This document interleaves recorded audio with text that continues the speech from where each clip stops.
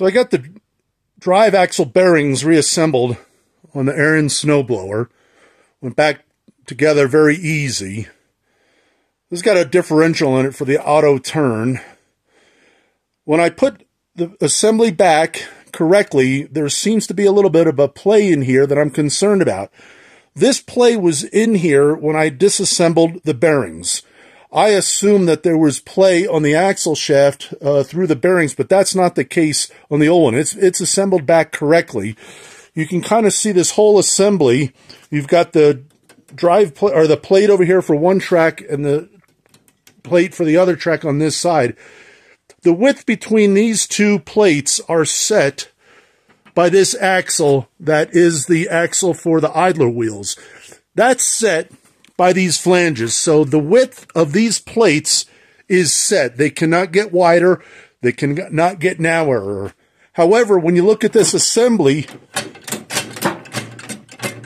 the whole assembly has play in it.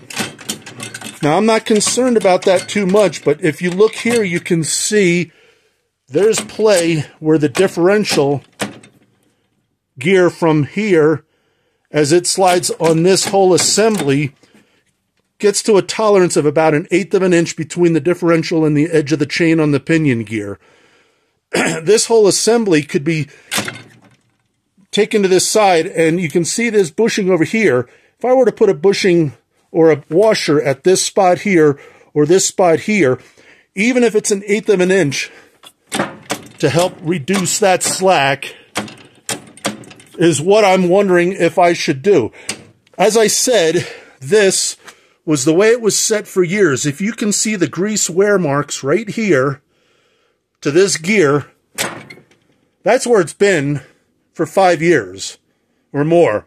But like I say, there's only about an eighth of an inch right here. If this bushing wears any more, where the width of this gets reduced, that's going to increase the throw distance here. I don't want to avoid that edge of the differential to the edge of this chain. If I were to just put a washer in here, wouldn't need to be much, an eighth of an inch here would add that eighth of an inch here. Ariens said play as normal. And as you can see by the grease wear marks here, that's grease wear, not the actual gear. That's where it's been for all along. So do I go ahead and put another shim in here to add space here? Hopefully that makes sense. This is quite literally my very first video. I'm a regular Francis Ford Crapola.